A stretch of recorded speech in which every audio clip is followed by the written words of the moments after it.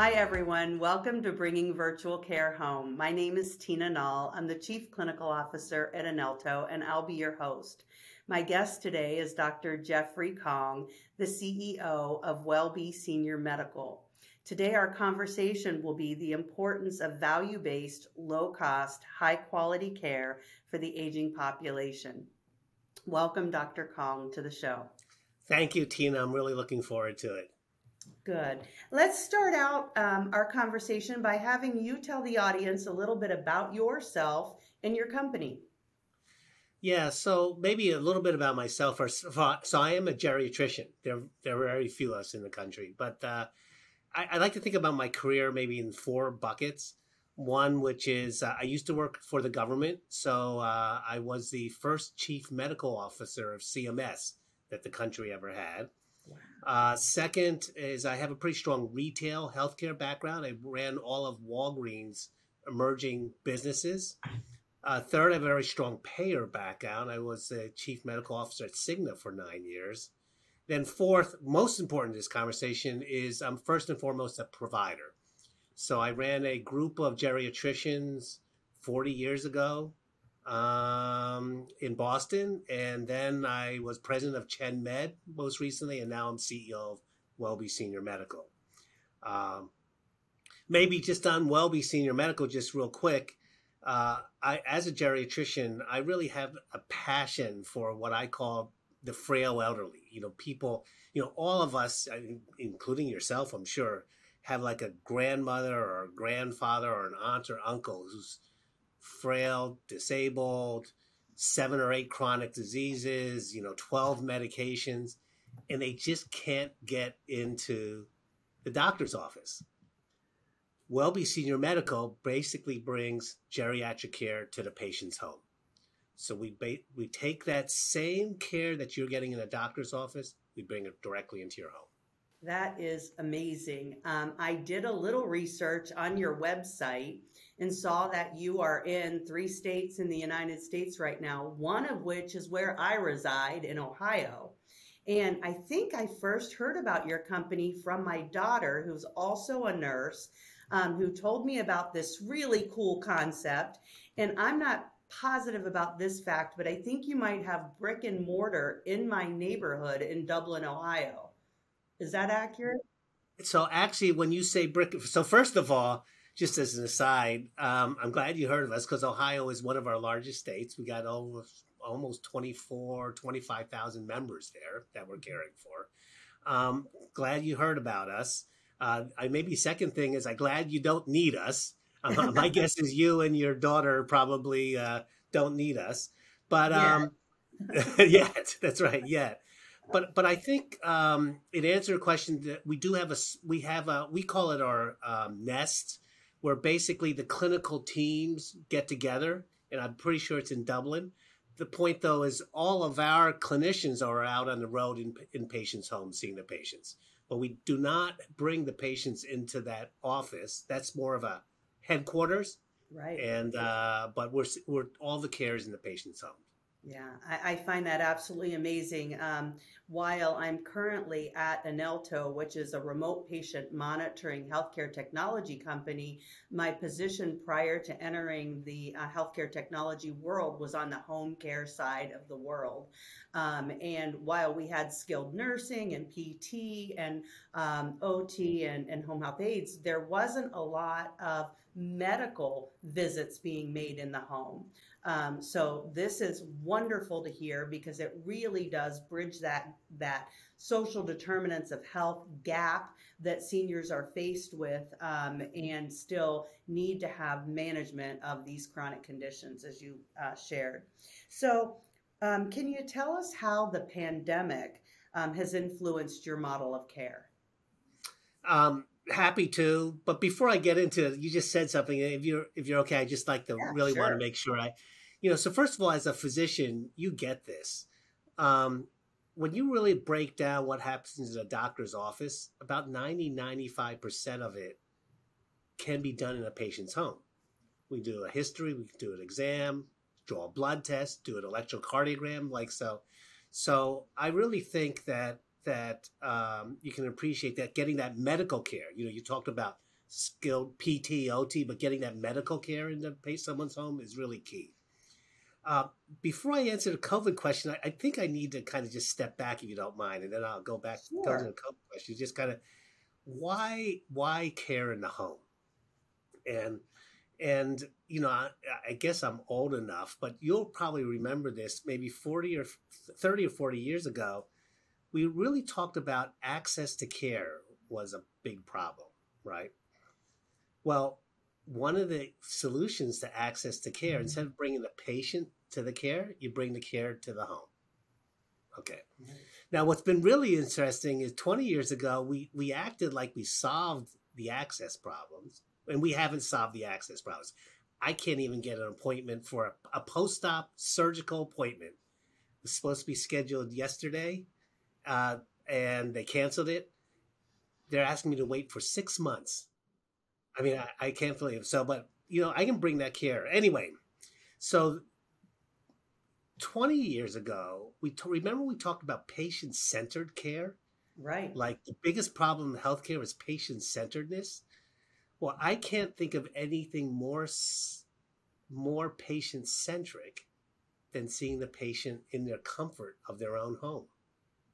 Just think about it. In the doctor's office, we make you strip in your job, you know, strip your clothes off, put a paper johnny on, cold floor, the whole thing. So I can't think of anything more dignified and respectful and patient than seeing a patient at home. Now you're familiar. You mentioned this already. Now we've we're we're doing uh, we're talking about social determinants of health.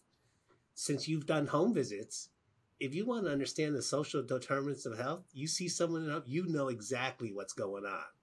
They have adequate food, they have adequate housing, you know, is it dirty? What, what about their stairs? You know, the whole thing. So, anyway, so the reason why I think about home care is we're solving the access issues, we're solving the patient centered issues, and we're solving the social determinants of health. That's the kind of now to your COVID question.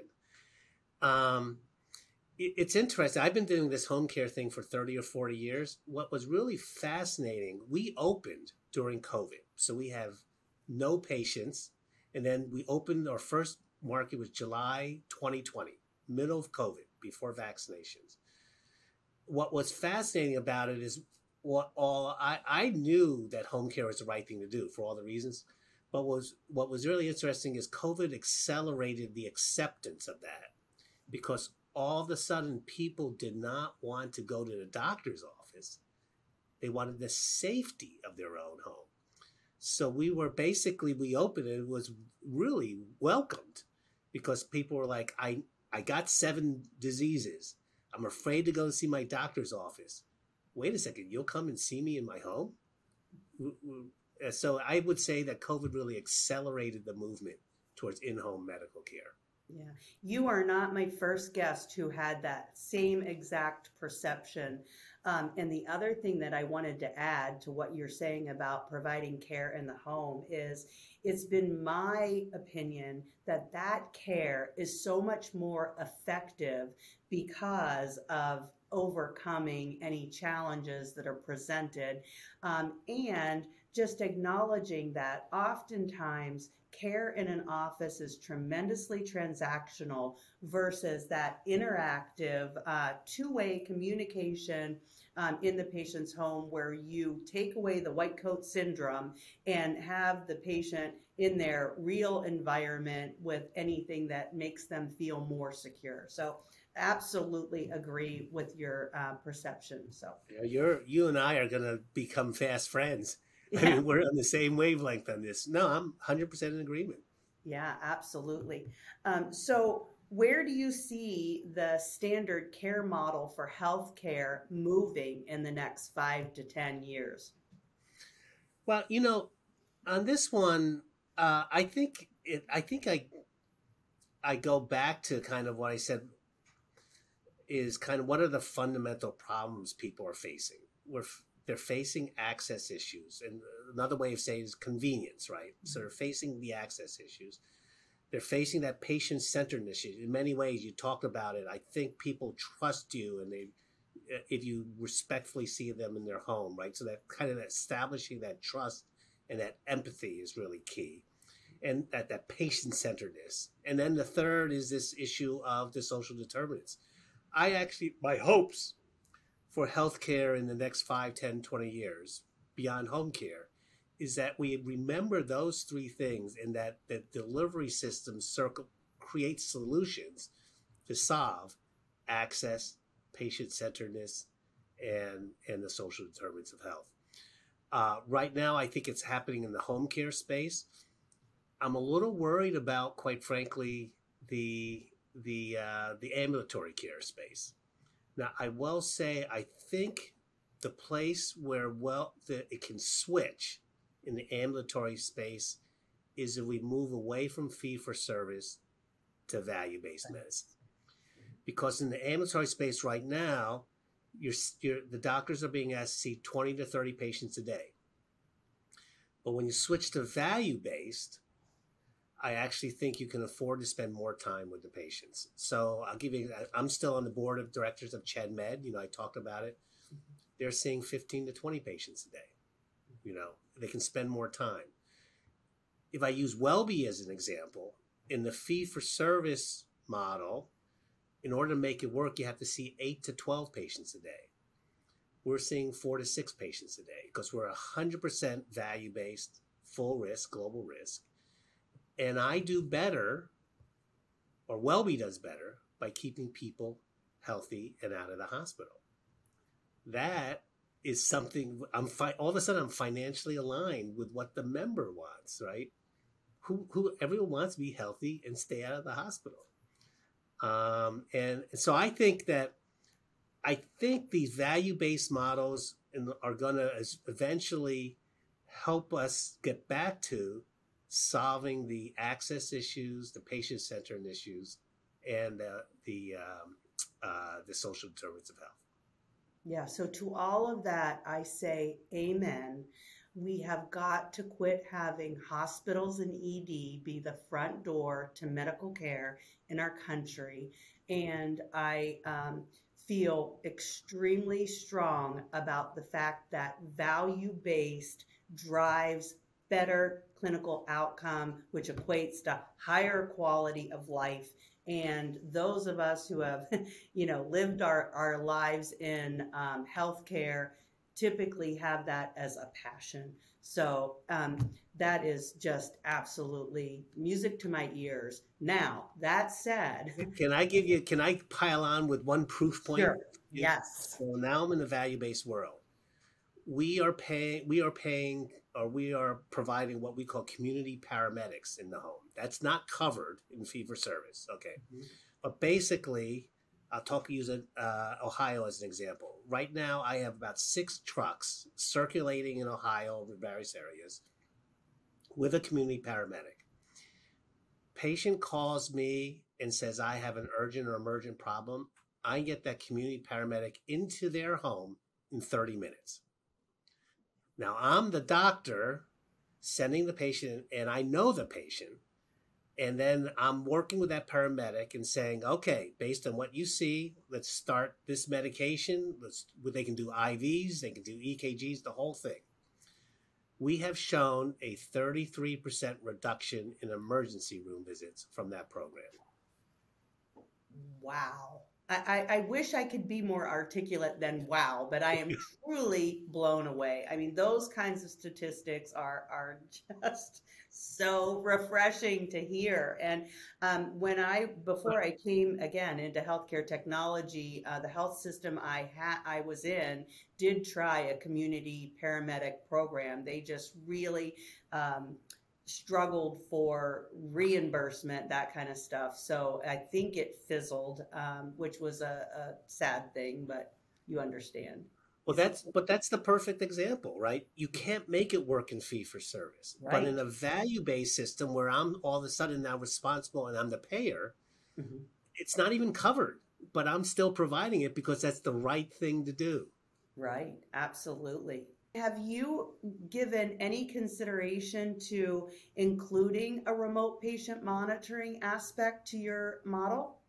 I knew you would ask. So, so this is really interesting, um, and I hope you don't get offended because it's in your it's your current. But um, You know, I think the value proposition for remote patient monitoring is when the doctor doesn't have enough time to kind of keep track of things. But the way, since we give our doctors and nurse practitioners plenty of time to be with the patient, I actually think it's more effective in instead of remote patient monitoring that we either frequently see the patient or we make frequent phone calls. So I'll give you a concrete example. I mean, you're aware of this. The literature would say daily weights for congestive heart failure um, is uh, will lower hospitalizations for congestive heart failure, right? Daily, just simple daily weights. So one way of dealing with that is a remote patient monitor. Have the patient get up on their scale. And so the approach we take is we actually have our nurse practitioner or our medical assistant call the patient once a day and tell them to get on the scale and weigh themselves. Okay, so I get the same information as a remote patient monitoring, but uh, from the weight standpoint, but now there's a social interaction going on. Patients love that. And during that, I can also assess are they short of breath or has something else happened? So I get so much more information. So so that's the long way of saying I've not I've not rushed. We will do we'll eventually use remote patient monitoring, but I've not rushed to go to that because my value proposition is the actual interaction on a longitudinal basis with the patient. And I don't want to disintermediate my clinicians from the patient and put this remote patient on. I really I think that in the long run that'll be more of a supplement but our fundamental value is that actual human interaction with the patient. Well, um, I, I am familiar with the beginnings of uh, remote patient monitoring and the, the primary uh, target population being congestive heart failure patients and the weights. And back then, I had family members with that diagnosis who were absolutely non compliant with following that. Today's remote patient monitoring is tremendously different in a complete solution that includes the ability with a touch of a button to be face to face with the the uh, care team member who you have a relationship with. So someday we'll have another conversation. We have another, another conversation there. Yeah, but but I, regardless of whether it's at the end of the day, I think you would agree that that interaction is really key. Absolutely, a hundred percent. And so when when I am am pitching remote patient monitoring, I am typically pitching it to include the virtual visit capability because I feel like as a clinician, if I've got qualitative data coming in from remote patient monitoring, from surveys, and I've got biometric data coming in from peripheral devices, if I can lay eyes on that patient, then I've got the full picture. I mean, I know I can't put my hands on them, um, but if I can connect with them and they know me, I'm going to get real information that's going to allow me to intervene early. And the one of the so the you and I again are violently in agreement. Yeah, and and one of the reasons I bring this up to you is because, and I know you're well aware of this, you're dealing with the biggest demographic in our country, and it's only going to grow further. So when and with providers, uh, the numbers of providers decreasing in volume. So while when I reach the point of needing you know, geriatric services. I want WellBe to take care of me, but at that time, there'll be hundreds uh, to thousands to millions of others of us that will want that. And, and so just a thought moving uh, forward. We'll definitely do that. You're, uh, I'm just glad you're far away from needing us. Yeah, yeah. Well, I'm probably not that far away from meeting you, so um, it really, it really is exciting to hear you're already in my home state, um, and that this is your model because this is my ideal model in my mind.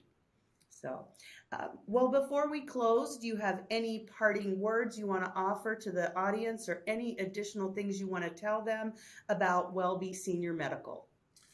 Well, maybe just maybe one thing I mentioned. So we started in July of of 2020, zero patients.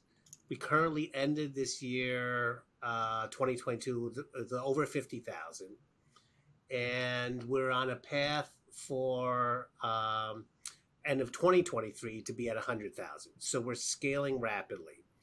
So, uh, so you had mentioned we're in three states. Uh, this month, we're actually now entering three more states, so six states. And then probably by the end of the year, we're about maybe seven or eight states and, you know, 20 markets. Okay. I, I think the point, maybe the one thing I just love to, is, is my goal or our vision is to be supplying this care model for all American citizens. So uh, that's the goal. And so I guess I invite people, um, particular health plans or physician groups that are in a full risk model, to just contact us. We're we can be up and running in a new market within 90 days. So I just invite people to contact us. Go to our website, wellbe.com. Uh, and then our maybe our chief growth officer is a guy named Michael Stewart. It's Michael dot Stewart S T U A R T at Wellbe W E L L B E dot com. So open invitation. We'll we'll be happy to scale this model, bring this model to wherever you want to go. Well, I want to thank you for your time today. I want to thank you for your effort to serve, and I want to thank you for your vision because all of those are are uh, again matched up with what I hope to see um, before I leave this earth as a healthcare professional for our country. And and to all of you who joined us at Bringing Virtual Care Home today, thank you, and I hope you'll join us for our next episode soon. And have a great day.